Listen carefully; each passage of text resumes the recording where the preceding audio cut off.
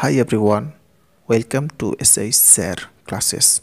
Today in this video we have to draw a line segment of length 8.8 centimeter with the help of scale in easy way. So please watch the video till the end. So let's start the video. First of all with the help of scale we have to first so first putting the scale here perfectly then measure the length 8.8 centimeter. So first counting here. So this is the starting zero. So first marking the zero. Okay then counting.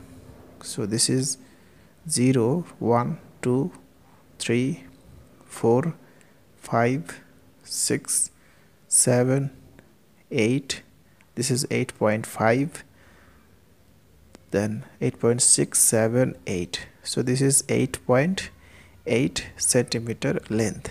So first marking this and joining the line perfectly.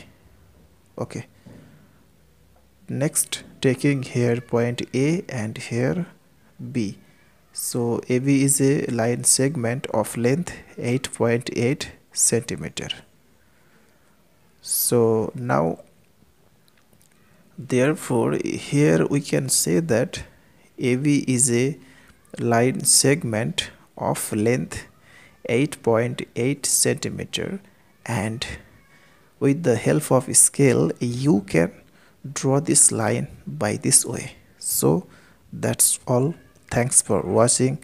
If this video is helpful to you then please share it with your friend. Thanks for watching